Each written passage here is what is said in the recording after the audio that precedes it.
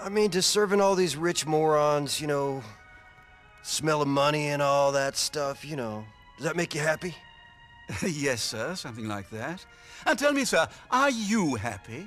I mean, has giving the man the uh, finger really satisfied some inner urge within you, sir?